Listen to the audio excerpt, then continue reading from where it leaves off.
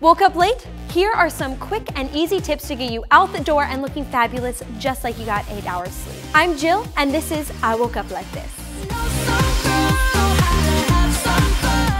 So I hate when you wake up late and you throw on a shirt and look down and notice that there is a massive deodorant stain on your shirt.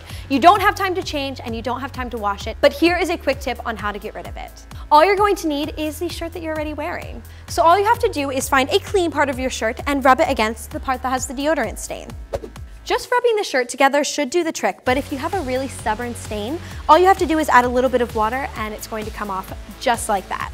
Seriously, it's that easy. All I had to do was rub two parts of my shirt together. It takes one minute and you could totally do that in the car ride on the way to school. There are a few other ways to get rid of stains, like you can use a dryer sheet or you can use a pair of jeans and rub it against your shirt. But this one is my favorite because all you need is the shirt that you're already wearing. This trick really works. I live for this.